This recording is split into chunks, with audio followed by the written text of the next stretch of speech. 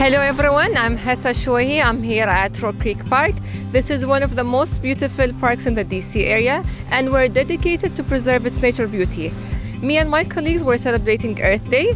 We're removing the invasive plant from this beautiful park so everyone can enjoy this space.